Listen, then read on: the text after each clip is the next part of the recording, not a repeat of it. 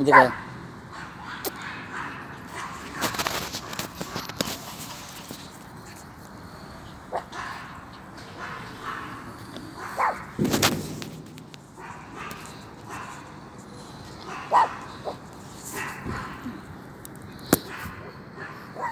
Đại ca. Đâu Cua rồi